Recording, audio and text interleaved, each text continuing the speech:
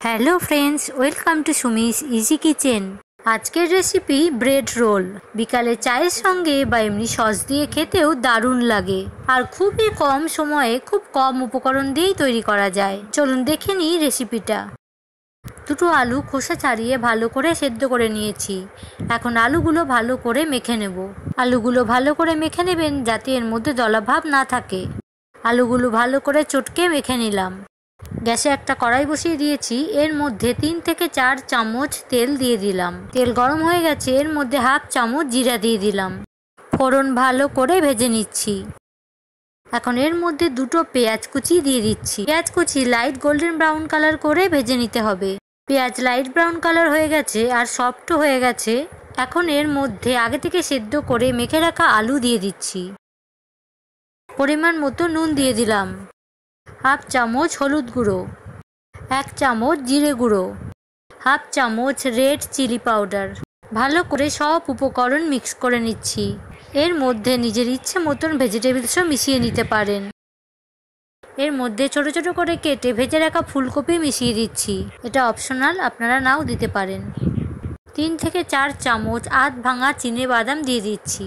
দু চামচ ধনে পাতা কুচি দিয়ে দিলাম। ভালো করে আর একবার সব উপকরণ মিশিয়ে নিচ্ছি। পুরো একদম রেডি আমি গ্যাস বন্ধ করে দিলাম। স্টাফিং পুরোপুরি ঠান্ডা করে নিতে হবে। ব্রেডের স্লাইস নিয়ে নিয়েছি। একটা চাকু দিয়ে এর সাইডের ব্রাউন পার্টগুলো কেটে নিচ্ছি। আপনারা কাঁচি দিয়েও কেটে নিতে পারেন। বন্ধুরা, আমার এই চ্যানেলে নতুন হলে অবশ্যই সাবস্ক্রাইব বাটনে ক্লিক করে বেল আইকন প্রেস করে রাখবেন। বেল আইকন প্রেস করে অলে ক্লিক করে রাখবেন, তাহলে এই নিত্য নতুন, সহজ, সুন্দর রেসিপিগুলো খুব সহজেই আপনার কাছে পৌঁছে যাবে। একটা বোলে জল নিয়ে নিয়েছি।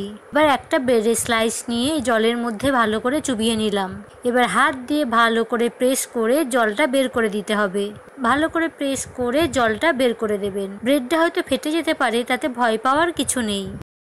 আলুর পুর কিছুটা নিলাম ব্রেডের স্লাইসের ওপরে দিয়ে দিলাম।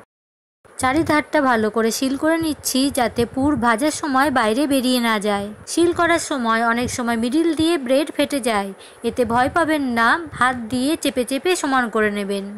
হালকা হাতে আস্তে আস্তে এইভাবে প্রেস করে দেবেন। দেখবেন ওপরের সারফেসটা সমান হয়ে যাবে। ঠিক এইরকম দেখতে হবে। এইরকম করে বাকিগুলোও করে নিন। এবার এক এক করে সবগুলো ভেজে নেব।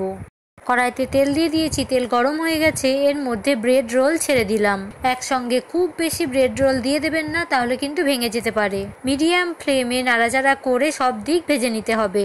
হালকা হাতে নাড়াচাড়া করবেন, তা না হলে কিন্তু ভেঙে যেতে পারে। গোল্ডেন ব্রাউন কালার হলে তুলে নিন, কিংবা এরকম কালার এলেই তুলে নিন। একটা টিস্যু পেপারের ওপরে তুলে নিলাম, তাতে এক্সট্রা তেলটা বেরিয়ে যাবে।